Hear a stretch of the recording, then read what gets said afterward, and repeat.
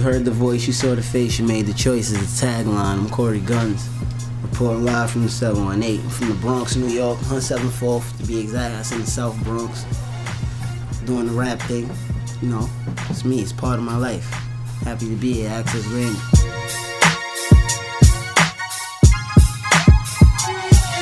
My style is more like I'm I'm gonna give you the bottom, but like I'm gonna give it to you like Oh, a way that even if you never dealt with the bottom, you gotta deal with that shit. Like like everybody can't deal with the bottom, but when I give it to you, it's like yeah, that shit is dead true.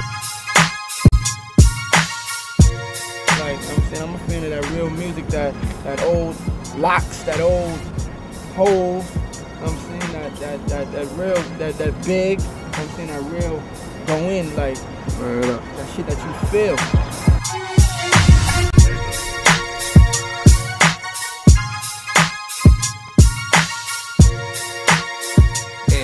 My favorite kind of songs are the ones that are like uh, that go deep and make people think and make people have emotion.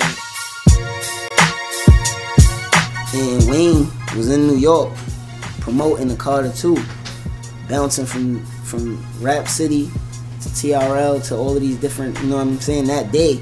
And took time out of his day to actually come by the studio and bless me with a verse for free. So that was something that meant a lot to me. Like we, we, we went in straight, sat, kicked it. Took us like no less than an hour, hour and a half to do that record. You could ask him if we lying. Like both of like it's just the chemistry was there.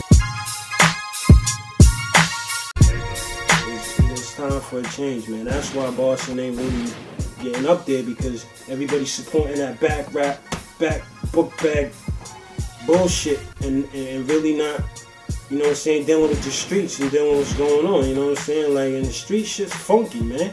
It's no joke out here, man. It's no joke in the streets, man. Like, you wanna be smart, fine, be smart, man, but like, just, just listen to the streets, man.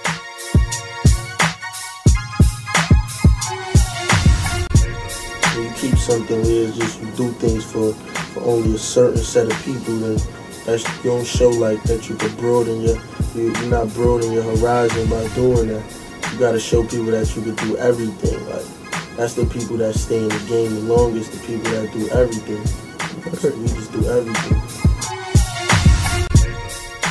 Before Kanye got on, all he wanted to do was make beats and rap. That's all he wanted to do. He was a hip hop head. Then I just heard, yo, I, I, I was hoping he didn't say this, but I just heard some shit when the nigga said he don't even listen to rap music in his house. His house is too nice to listen to rap music in. I said, yo, how the fuck can you say that? Like, rap music is the reason why you got that nice house, man. Like niggas ain't paying no type of